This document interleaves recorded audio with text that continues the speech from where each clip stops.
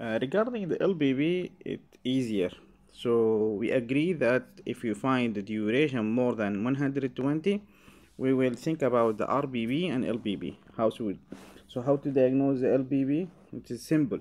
So you'll find a small R wave here and deep S wave in lead V1 and the duration the QRS complex more than 120 millisecond يعني more than 3 small square the other criteria absent of the Q wave in the 1 and AVL and V5 this is not important.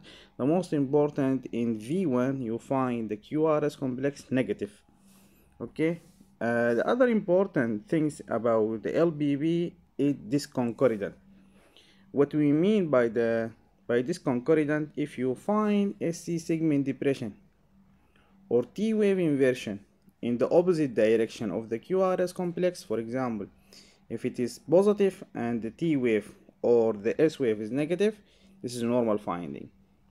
In V1 V2 V3 if you find the ST segment elevation in the opposite direction of the QRS complex this is normal finding. This is called this concordant